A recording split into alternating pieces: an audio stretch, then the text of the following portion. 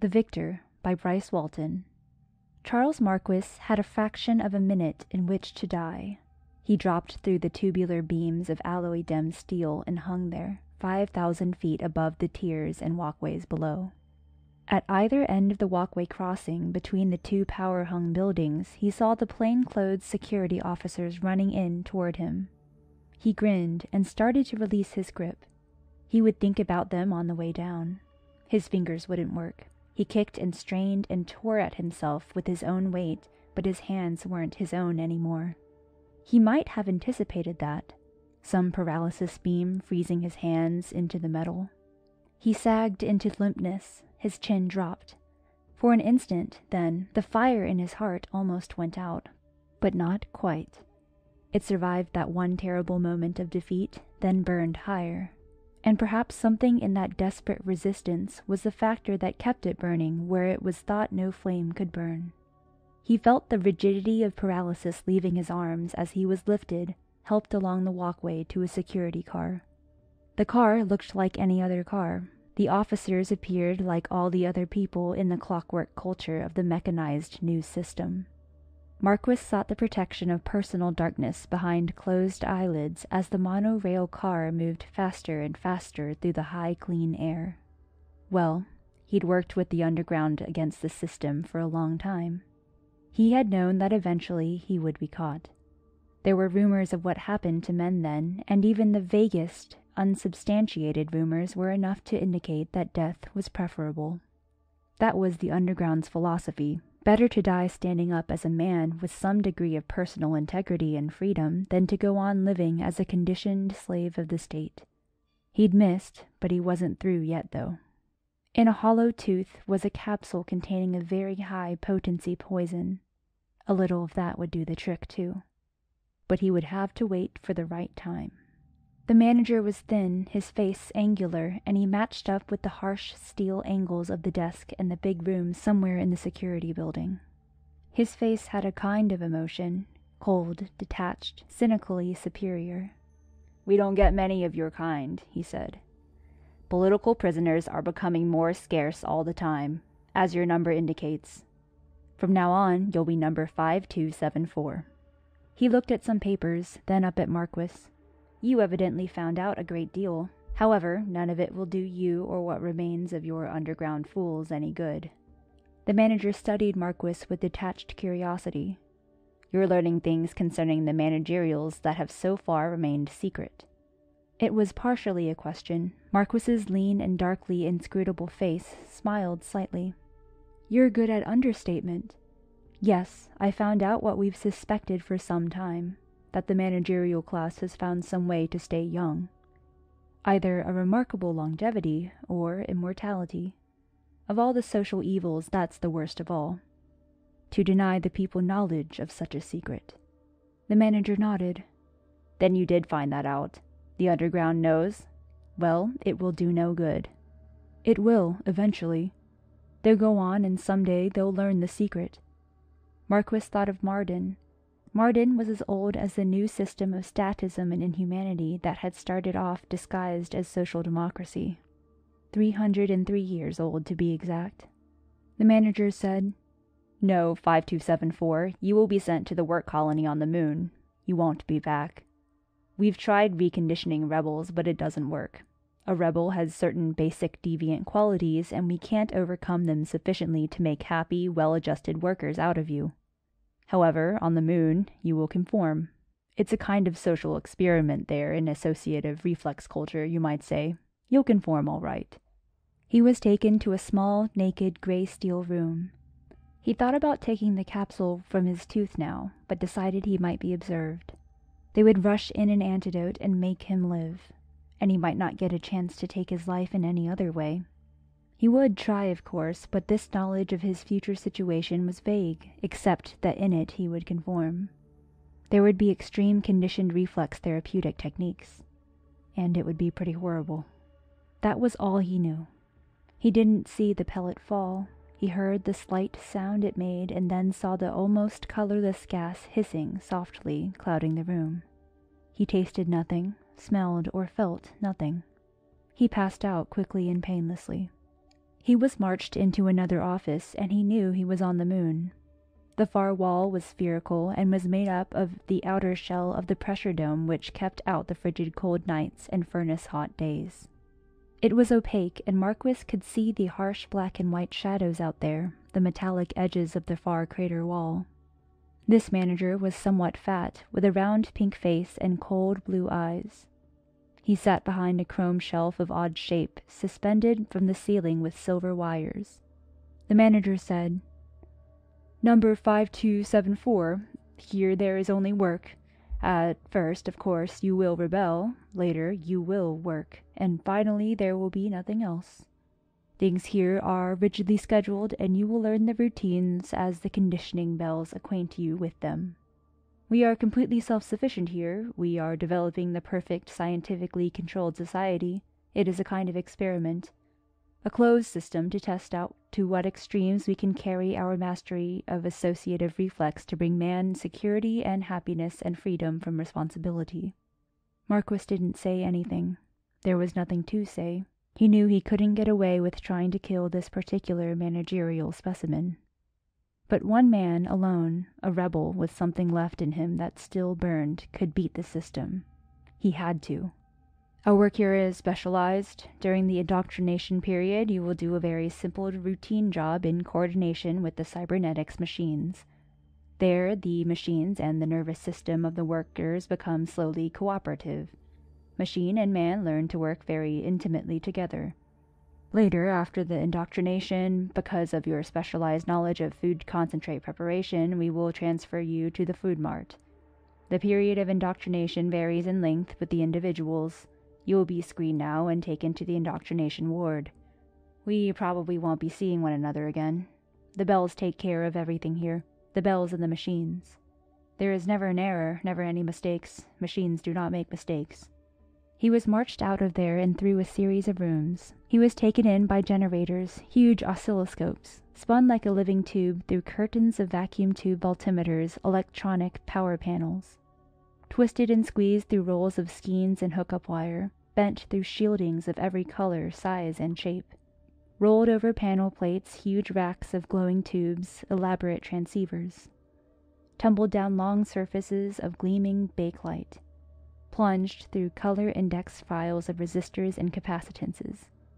Here machine and man learned to work very intimately together.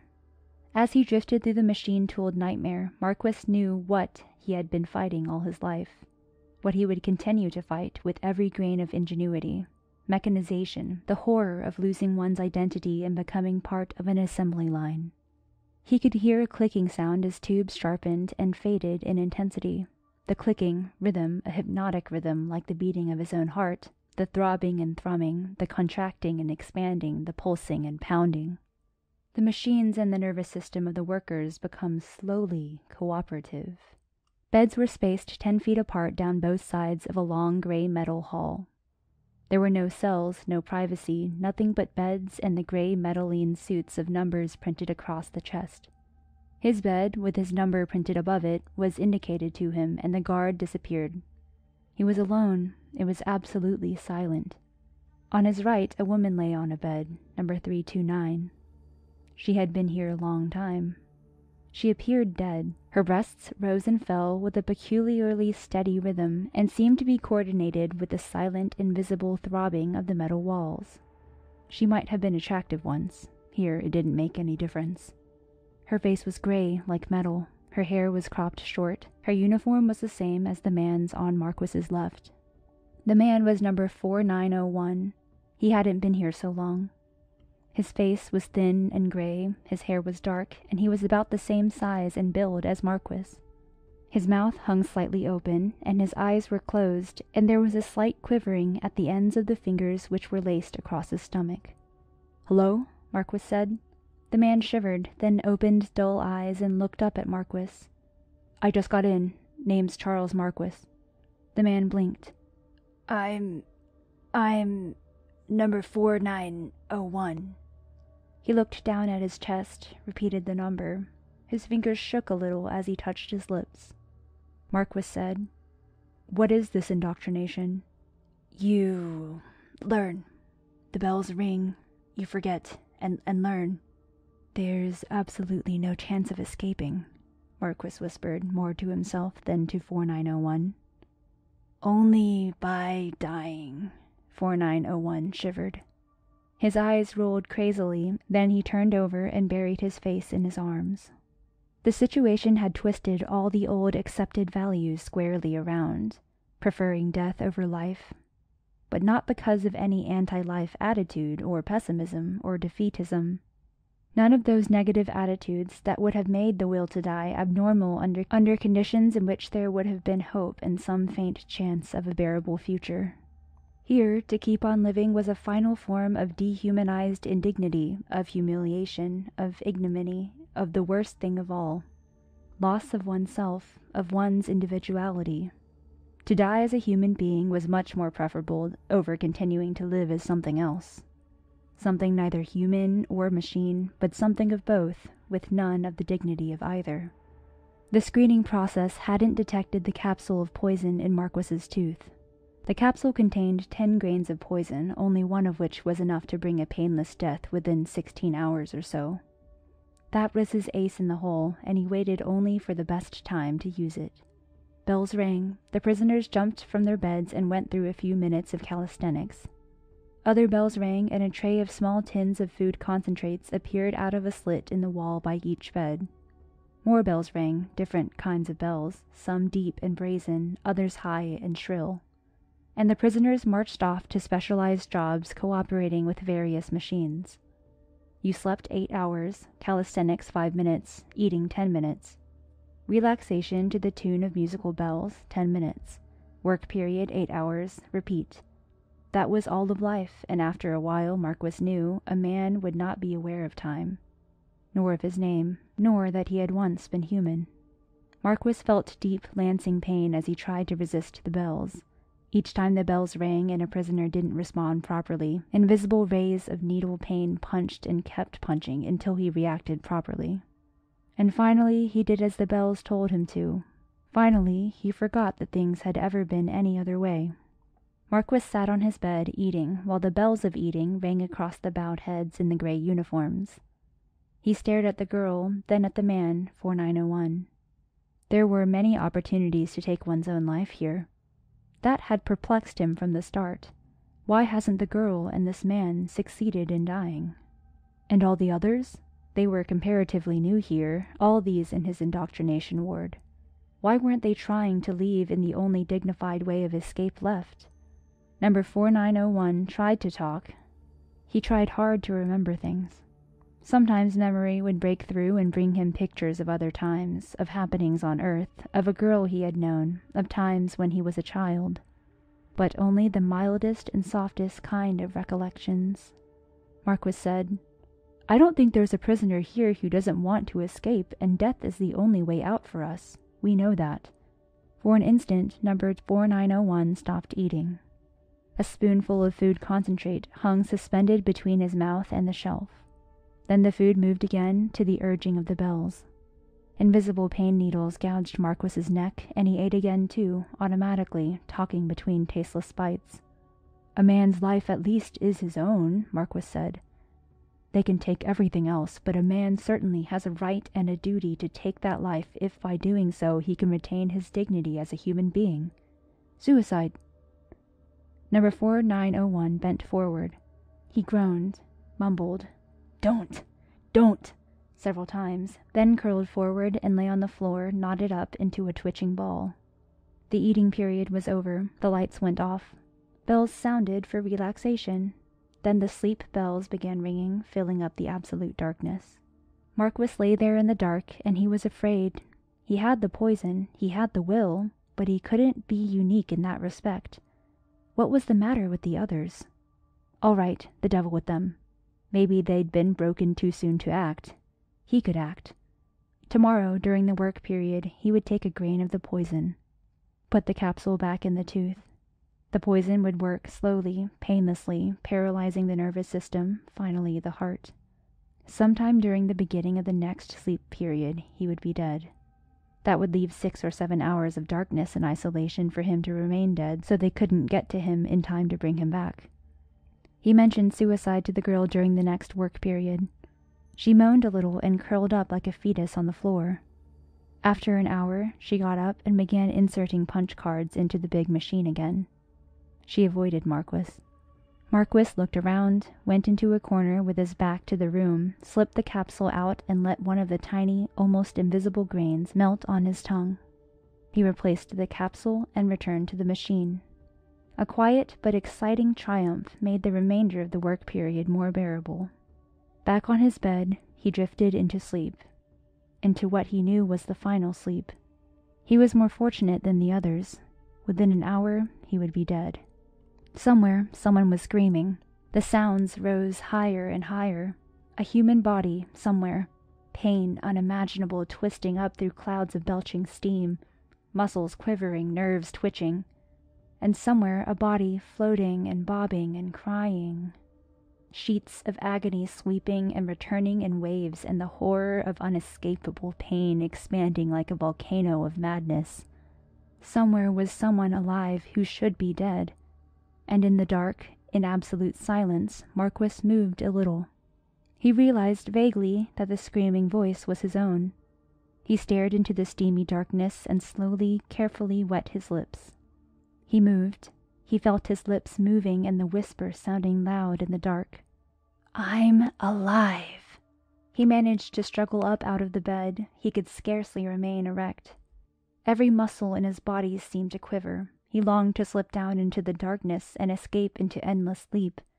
But he'd tried that. And he was still alive. He didn't know how much time had passed. He was sure of the poison's effects, but he wasn't dead. They had gotten to him in time. Sweat exploded from his body. He tried to remember more. Pain. He lay down again. He writhed and perspired on the bed as his tortured mind built grotesque fantasies out of fragments of broken memory. The routine of the unceasing bells went on. Bells, leap up. Bells, calisthenics. Bells, eat. Bells, march. Bells, work. He tried to shut out the bells. He tried to talk to 4901. 4901 covered up his ears and wouldn't listen. The girl wouldn't listen to him. There were other ways, and he kept the poison hidden in the capsule in his hollow tooth. He had been counting the steps covering the length of the hall, then the twenty steps to the left, then to the right, to where the narrow corridor led again to the left where he had seen the airlock. After the bells stopped ringing and the darkness was all around him, he got up. He counted off the steps. No guards, no alarms, nothing to stop him. They depended on the conditioners to take care of everything. This time he would do it. This time they wouldn't bring him back. No one else could even talk with him about it, even though he knew they all wanted to escape. Some part of them still wanted to, but they couldn't. So it was up to him. He stopped against the smooth, opaque, up-curving glassite dome. It had a brittle, bright shine that reflected from the moon's surface. It was night out there, with an odd metallic reflection of earthlight against the naked crags. He hesitated. He could feel the intense and terrible cold, the airlessness out there fingering hungrily, reaching and whispering and waiting. He turned the wheel. The door opened. He entered the airlock and shut the first door when the air pressure was right. He turned the other wheel, and the outer lock door swung outward. The outrushing air spun him outward like a balloon into the awful airless cold and naked silence. His body sank down into the thick pumice dust that drifted up around him in a fine powdery blanket of concealment. He felt no pain. The cold airlessness dissolved around him in deepening, darkening pleasantness. This time he was dead, thoroughly and finally and gloriously dead, even buried, and they couldn't find him. And even if they did finally find him, what good would it do them? Some transcendental part of him seemed to remain to observe and triumph over his victory. This time he was dead to stay. This time he knew at once that the twisting body in the steaming pain, the distorted face, the screams rising and rising were all Charles Marquis. Maybe a dream, though, he thought. So much pain, so much screaming pain is not real. In some fraction of a fraction of that interim between life and death, one could dream of so much because dreams are timeless. Yet he found himself anticipating, even through the shredded, dissociated, nameless kind of pain, a repetition of that other time. The awful bitterness of defeat. He opened his eyes slowly. It was dark, the same darkness. He was on the same bed. And the old familiar dark around and the familiar soundlessness that was now heavier than the most thunderous sound. Everything around him then seemed to whirl up and go down in a crash. He rolled over to the floor and lay there, his hot face cooled by the cold metal. As before, some undeterminable interim of time had passed, and he knew he was alive. His body was stiff, he ached. There was a drumming in his head and then a ringing in his ears as he tried to get up, managed to drag himself to an unsteady stance against the wall. He now felt an icy surety of horror that carried him out to a pinpoint in space. A terrible fatigue hit him. He fell back onto the bed. He lay there trying to figure out how he could be alive. He finally slept, pushed into it by sheer and utter exhaustion. The bells called him awake. The bells started him off again. He tried to talk to 4901. They avoided him, all of them. But they weren't really alive anymore. How long could he maintain some part of himself that he knew definitely was Charles Marquis? He began a ritual, a routine divorced from that to which all those being indoctrinated were subjected. It was a little private routine of his own, dying and then finding that he was not dead. He tried it in many ways. He took more grains of the poison, but he was always alive again. You, 4901, damn you, talk to me! You know what's been happening to me? The man nodded quickly over his little canisters of food concentrate. This indoctrination. You, the girl, you went crazy when I talked about dying. What? The man yelled hoarsely. Don't! Don't say it! All this, what you've been going through, can't you understand?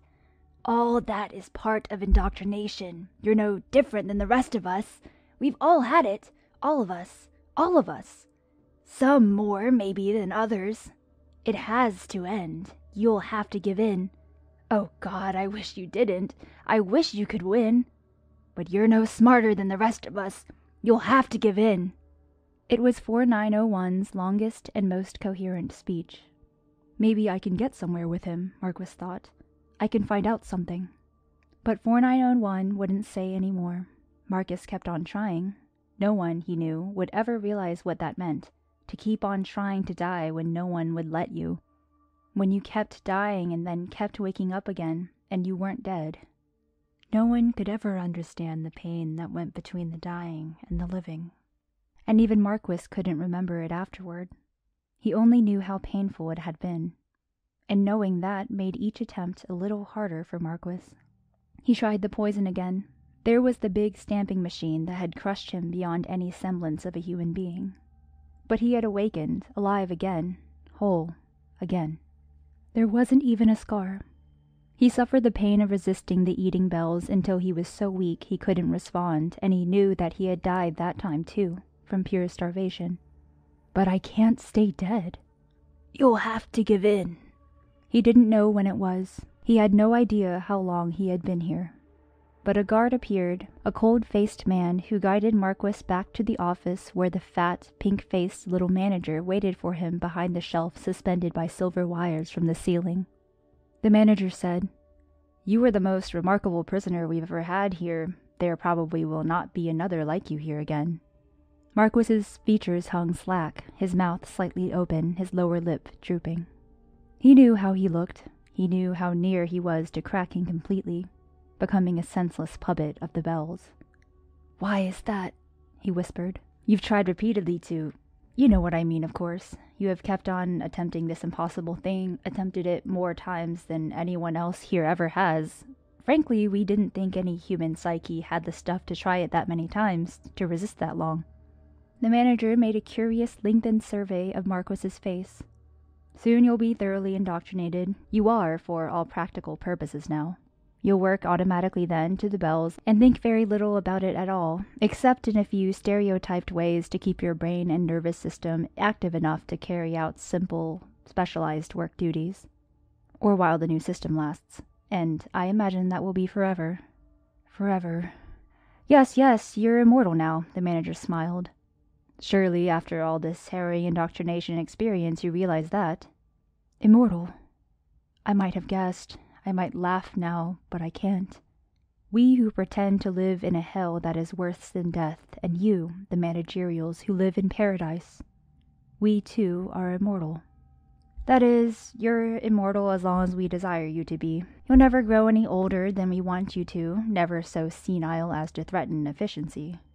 That was what you were so interested in finding out on Earth, wasn't it? The mystery behind the managerials? Why they never seem to grow old? Why we have all the advantage no senility, no weakening, the advantage of accumulative experience without the necessity of relearning? Yes, Marquis whispered. The manager leaned back. He lit a Para-Et and let the soothing nerve tonic seep into his lungs. He explained. Every one of you political prisoners we bring here want, above everything else, to die. It was a challenge to our experimental social order here. We have no objection to you killing yourself. We have learned that even the will to die can be conditioned out of the most determined rebel, as it has been conditioned out of you. You try to die enough times, and you do die, but the pain of resurrection is so great that finally it is impossible not only to kill yourself, but even to think of attempting it. Marquis couldn't say anything. The memory called up by the mention of self destruction rasped along his spine like chalk on a blackboard. He could feel the total recall of sensation, the threatening bursts of pain. No, he whispered over and over. No, please, no. The manager said, We won't mention it any more. You'll never be able to try any overt act of self destruction again. A bright light from the ceiling lanced like splinters into the tender flesh of Marquis's eyeballs, danced about the base of his brain in reddened choleric circles. His face had drawn back so that his cheekbones stood out and his nose was beak-like. His irises became a bright, painful blue in the reddened ovals of his eyes. The manager yawned as he finished explaining. Each prisoner entering here has an identification punch plate made of his unique electromagnetic vibratory field. That's the secret of our immortality and yours. Like all matter, human difference is in the electromagnetic vibratory rates. We have put these punch plates on file for every prisoner. We have one of you. Any dead human body we merely put in a tank which dissolves it into separate cells. A mass of stasis with potentiality to be reformed into any type of human being of which we have an identification punch plate, you see? This tank of dissociated cells is surrounded by an electromagnetic field induced from a machine by one of the identification punch plates. That particular human being lives again, the body, its mind, its life pattern identical to that from which the original punch plate was made. Each time you have died, we reduced your body, regardless of its condition, to dissociated cells in the tank. The identification punch plate was put in the machine. Your unique electromagnetic field reformed the cells into you. It could only be you, as you are now. From those cells, we can resurrect anyone of whom we have an identification plate. That is all, number 5274. Now that you're indoctrinated, you will work from now on in the food mart because of your experience. For an undeterminable length of time, he followed the routines of the bells. In the big food mart, among the hydroponic beds, and the canning machines, among the food grinders and the little bells that dropped cans of food concentrate into racks and sent them off into the walls. He managed to talk more and more coherently with number 4901. He stopped referring to suicide, but if anyone had the idea that Marquis had given up the idea of dying, they were wrong. Marquis was stubborn. Somewhere in him the flame still burned. He wouldn't let it go out. The bells couldn't put it out, the throbbing machines couldn't put it out, and now he had at last figured out a way to beat the game.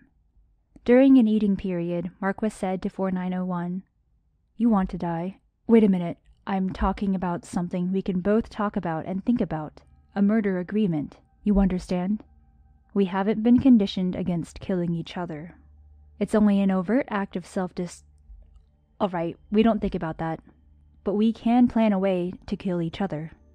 4901 looked up. He stopped eating momentarily. He was interested. What's the use, though? Pain shadowed his face.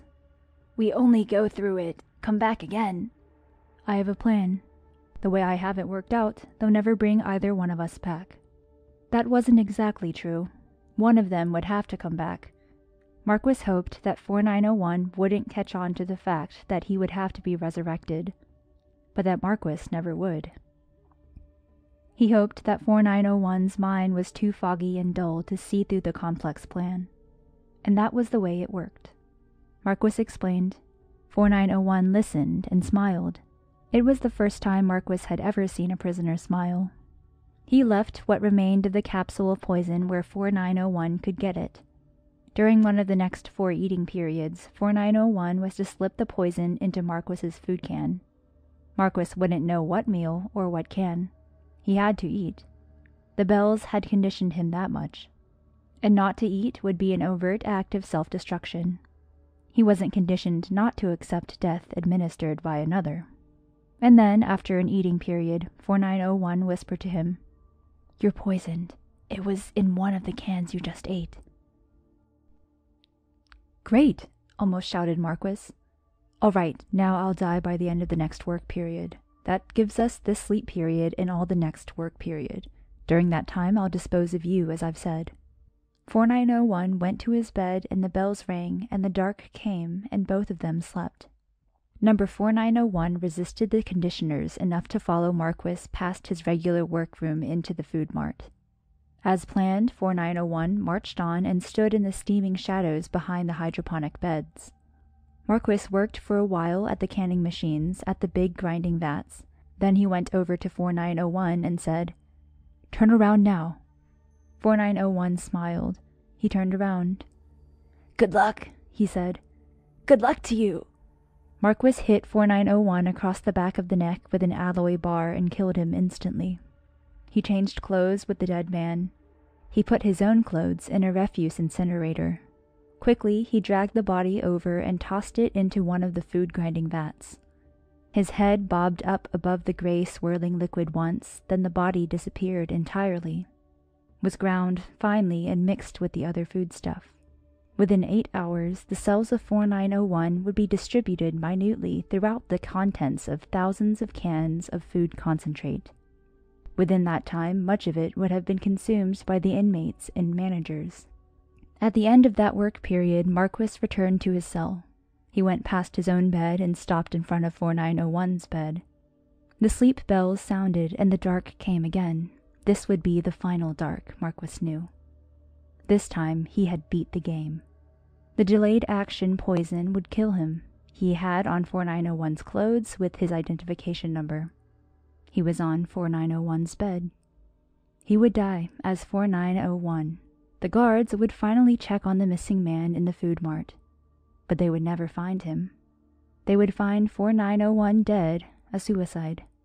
And they would put the body labeled 4901 in the tank, dissolve it into dissociated cells, and they would subject those cells to the electromagnetic field of 4901. And they would resurrect 4901. Not only have I managed to die, Marquis thought, but I've managed the ultimate suicide. There won't even be a body, no sign anywhere that I have ever been at all. Even my cells will have been resurrected as someone else, as number 4901. And that's the way it was, 4901 would tell new prisoners coming in. Sometimes they listened to him and seemed interested, but the interest always died during indoctrination. But 4901's interest in the story never died. He knew that now he could never let himself die as a human being either, and that he could never let himself become completely controlled by the bells. He'd been nearly dead as an individual, but number 5274 had saved him from that dead alive anonymity. He could keep alive and maintain hope now by remembering what 5274 had done. He clung to that memory. As long as he retained that memory of hope, of triumph, at least some part of him would keep burning, as something had kept on burning within the heart of 5274. So, every night before the sleep bells sounded, he would go over the whole thing in minute detail, remembering 5274's every word and gesture, the details of his appearance. He told the plan over to himself every night, and told everyone about it who came in to the indoctrination ward. Swimming up through the pain of resurrection, he had been a little mad at 5274 at first, and then he had realized that at least the plan had enabled one man to beat the game. He will always be alive to me. Maybe in a way, he's part of me. Nobody knows, but his memory will live. He succeeded in that kind of ultimate dying, no trace of him anywhere. But the memory of him and what he did will be alive when the new system and the managers are dead. That spirit will assure the underground of victory someday. And meanwhile, I'll keep 5274 alive. He even knew the psychology of these managers and their system, that they can't afford to make an error. He knew they'd still have that identification punch plate of him, that they would have one more plate than they had prisoners. But he anticipated what they would do there, too. To admit there was one more identification plate than there were prisoners would be to admit a gross error. Of course, they could dissolve one of the other prisoners and use 5274's plate and resurrect 5274, but they'd gain nothing. There would still be an extra plate, you see? So they destroyed the plate, you knew they would. And they also had to go back through the records to Earth, through the security files there, through the birth records, everything and they destroyed every trace, every shred of evidence that number 5274 ever existed.